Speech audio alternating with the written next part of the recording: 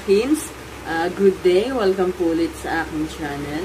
Ako nga po pala ulit, si Miss Kim Castillo. So, ang video na isi-share ko sa inyo today ay kung paano ko uh, ginagawa yung let lock na letter S at kung paano ko siya inilalagay sa kwintas. At uh, kung paano ko na rin siya lilinisin. Bali sa shop ko po ginawa yung lock na letter S panoorin yung mga hints at alam kong magugustuhan nito. Pasok.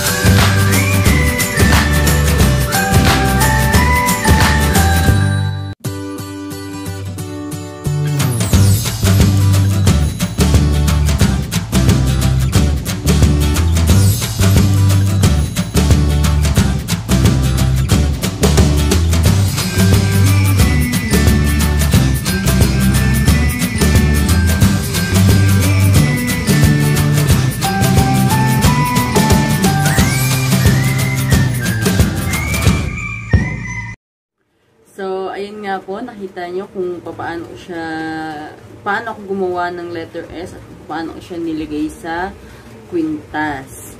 Bali sa customer po kasi yun, yung time na ginagawa ko po yun. Pero may dala po ako, may papakita po ako sa inyo ganito. Ayan, ganyan po siya yung letter S.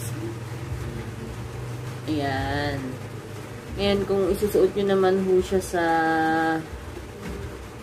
ano, yan. Ihawiin nyo lang ho ng patagilid. Tagilid, yan. Patagilid na siya. Yan. Yan, apat nakatagilid. Labo. Tapos, papasok ng paganyan. Yan. Yan po, pumasok na siya. Tapos, ibabalik nyo ulit ho siya. Yan. Yan, pwede na ho. Pero yung ginawa ko po doon, uh, bali hininang ko ho yung kabila. Ito, yung kabila, hininang ko po dyan yung kabila. Tapos yung kabila doon yung bubuksan at isasarado ulit. At bali, pwede ho siya sa quintas, pwede rin po siya sa ano, bracelet. Kapag gusto niyo magpalagay ng lock na letter S. Yung iba kasi ganun ang ipinapagawa sa amin. Kasi nga minsan yung mga lobster, uh, ganito po yung lobster, yan, ganyan. Mga ganyan lobster na nalalost red agad yan. Hindi na, hindi na gumagalaw. Kaya minsan, mas gusto nila uh, letter S na lang. So, ayun nga guys. Sana nagustuhan nyo yung video na ipinakita ko at ginawa ko. Uh, don't forget to like and subscribe para isama nyo na rin po yung bell button para ma-notify po kayo kung may mga bago, may mga bago po akong video na ipapakita. Ya-upload ba yan? Ya-upload. At uh, Maraming maraming salamat po. And bye-bye! Yan, yung baby ko. Ang Peppa Pig ng buhay ko.